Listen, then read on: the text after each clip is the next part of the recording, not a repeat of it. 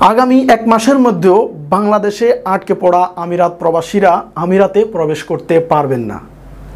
হ্যাঁ আপনারা ঠিকই শুনেছেন, আগামী এক মাসের মধ্যেও আপনারা আমিরাতে প্রবেশ করতে পারবেন না। আপনারা ইতিমধ্যে অবগত আছেন সকলেই যে আমিরাতের র্যাপিড পিসিআর টেস্ট ব্যতীত কেউ আমিরাতে প্রবেশ করতে পারবে না। এটি আমিরাত সরকার সাফ সাফ জানিয়ে দেওয়া হয়েছে। কিন্তু প্রতিটা দেশের ফ্লাইট ওপেন করা দেয়া হয়েছে, কিন্তু এখন পর্যন্ত আমাদের বাংলাদেশের ফ্লাইট ওপেন করে দেয়া হয় না কেন? তার একটাই মাত্র কারণ, সেটি হচ্ছে আমাদের বাংলাদেশ ইন্টারন্যাশনাল এয়ারপোর্টগুলোতে এখন পর্যন্ত র্যাপিড পিসিআর টেস্ট ল্যাব স্থাপন করা হয়নি।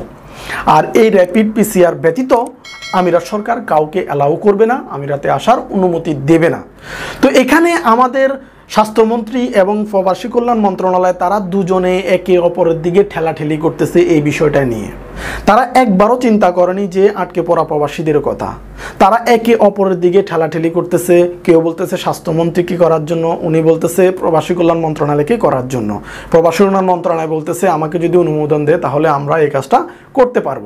তো আমি আপনাদেরকে এখন প্রথমে আমাদের স্বাস্থ্য মন্ত্রণালয়ের স্বাস্থ্যমন্ত্রীর ভিডিও ক্লিপ একটা দেখাচ্ছি, আপনারা একটু দেখে আসুন। আমি আপনাদেরকে বলি যে র্যাপিড আর্টিফিশিয়াল মেশিন যেটা, সেটা আমাদের এখানে কেনার জন্য আমরা চেষ্টা করছি দ্রুততম সময়ে। আরেকটা যেটা প্রবাসী কল্যাণ মন্ত্রণালয় আমাদেরকে বলেছে যে, তাদের কাছে ব্যবস্থা আছে দে ক্যান অ্যারেঞ্জ ইট আমরা যদি পারমিশন দিই, তাহলে পরে তারা তো এখানে আমাদের স্বাস্থ্যমন্ত্রী বলতেছে যে তারা এই বিষয়ে আলাপ আলোচনা করতেছে, প্রবাসী মন্ত্রণালয়ের সাথেও যোগাযোগ করেছে এবং প্রবাসী মন্ত্রণালয় নাকি একটা চিঠিও তাদেরকে দিয়েছে। বলতেছে প্রবাসী মন্ত্রণালয়ের জন্য এটি কাজটা করে। তো তাদেরকে আবার চিঠি দিতে হবে। অর্থাৎ নানান ধরনের কথা তারা পেঁচিয়ে ফেলতেছে। হ্যাঁ? তো আমার এখানে একটাই প্রশ্ন যে আপনারা এতটুকু ঠেলাঠেলি না করে স্বাস্থ্য মন্ত্রণালয় এবং প্রবাসী কল্যাণ মন্ত্রণালয় দুজনে মিলে তাড়াতাড়ি এই জিনিসটা করার ব্যবস্থা করুন। এখানে প্রবাসীদের জীবন নিয়ে খেলা হচ্ছে কিন্তু। তো ভিউয়ার্স আমি আরেকটি ভিডিও ক্লিপ আপনাদেরকে একটু দেখানোর চেষ্টা করব। আমাদের প্রবাসী কল্যাণ মন্ত্রী এখানে কি বলতেছে সেই ভিডিও ক্লিপটা আপনারা একটু দেখে আসুন। আমি চিঠি চিঠি ডেফিনেটলি একটা গেছে। প্রস্তাব আমাদের কাছে অলরেডি আসা আরম্ভ হয়ে গেছে, ঠিক আছে? আমরা এর মধ্যে বসবো ওদের সাথে। একজন একজন করে আলাদা আলাদা ভাবে বসবো। দেখি ওনারা কি অফার করছে। সত্যি কথা বলতে গেলে আমি এক্সপেক্ট করি, যদি আমরা দৌড়ে দৌড়েও যদি করি। ভিউয়ার্স এখানে আমাদের প্রবাসী কল্যাণ মন্ত্রণালয় বলতেছে যে, স্বাস্থ্য মন্ত্রণালয় যদি তাদেরকে অনুমতি দেয়, তাহলে তারা এই কাজটা করতে পারবে। হ্যাঁ? তো এখানে স্বাস্থ্য মন্ত্রণালয় বলছে, তারা যদি আমাদেরকে অফিসিয়ালি নোটিশ দেয় বা চিঠি দেয়, তাহলে আমরা এই কাজটা করব। এবং প্রবাসী কল্যাণ মন্ত্রণালয় বলতেছে অলরেডি তারা চিঠি পাঠিয়েছে আর কত পাঠাবে। হুম? তো এখানে বোঝা যায় তারা একে অপরের দিকে ঠেলাঠেলি করতেছে। তো আমার প্রশ্ন হচ্ছে, আপনারা ঠেলাঠেলি না করে দুজনে মিলে হ্যাঁ দোনো মন্ত্রণালয় মিলে এই কাজটাকে দ্রুতভাবে কীভাবে করা যায় সেই ব্যবস্থাটা করুন। এখানে কিন্তু প্রবাসীদের জীবন নিয়ে খেলা হচ্ছে। তাদের কথা একটি বারও আপনাদেরকে ভাবতে হবে। ইতিমধ্যে আমিরাত সরকার অনেকগুলো আপডেট নিয়ে আসছে এবং ডে বাই ডে কিন্তু তারা আপডেটগুলো পরিবর্তন করতেছে। তাহলে এই আমিরাত সরকার যদি আরও নতুন একটা আপডেট নিয়ে আসে, সেক্ষেত্রে আমাদের বাংলাদেশে আটকে পড়া আমিরাত প্রবাসীরা আসতে অনেক সমস্যা হবে এবং তাদের কর্ম তারা হারাবে।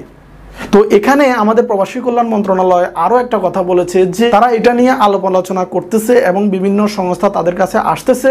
তারা একটা একটা করে তাদের সাথে বসবে আলাদা আলাদা ভাবে, অনেক আলোচনার ব্যাপার আছে। তো এটা করতে করতে কিন্তু আমার মনে হচ্ছে না যে এক মাসের মধ্যেও, আগামী এক মাসের মধ্যেও এই কাজটা হবে। হুম? এবং তিনি সাফ সাফ জানিয়ে দিয়েছেন যে এই কাজটা করতে তাদের এক মাস লাগবে।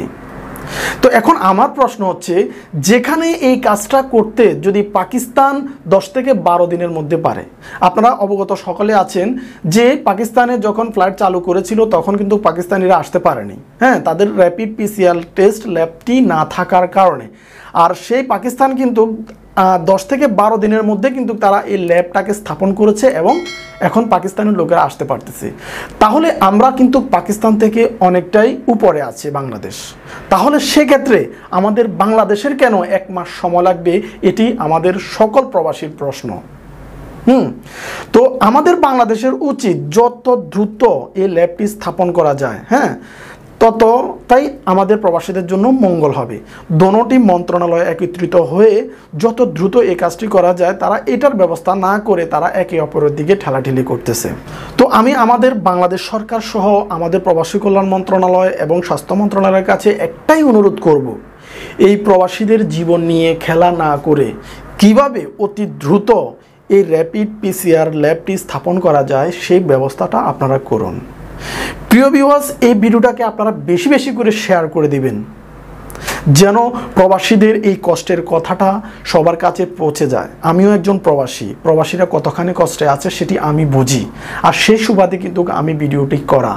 আশা করব আপনারা সকলে এই ভিডিওটাকে শেয়ার করে দিবেন যেন আমাদের প্রবাসী কল্যাণ মন্ত্রণালয় সহ আমাদের প্রধানমন্ত্রীর কাছে এই ভিডিওটা পৌঁছে যায়, আমাদের প্রবাসীদের দাবিটা পৌঁছে যায়। ভিডিওটা ভালো লাগলে একটা লাইক দিয়ে যাবেন আর অবশ্যই অবশ্যই শেয়ার করবেন। চ্যানেলটি সাবস্ক্রাইব করে সবসময় আমাদের সাথে থাকবেন। দেখা হবে পরবর্তী আরেকটি ভিডিওতে সবাই ভালো থাকবেন সুস্থ থাকবেন।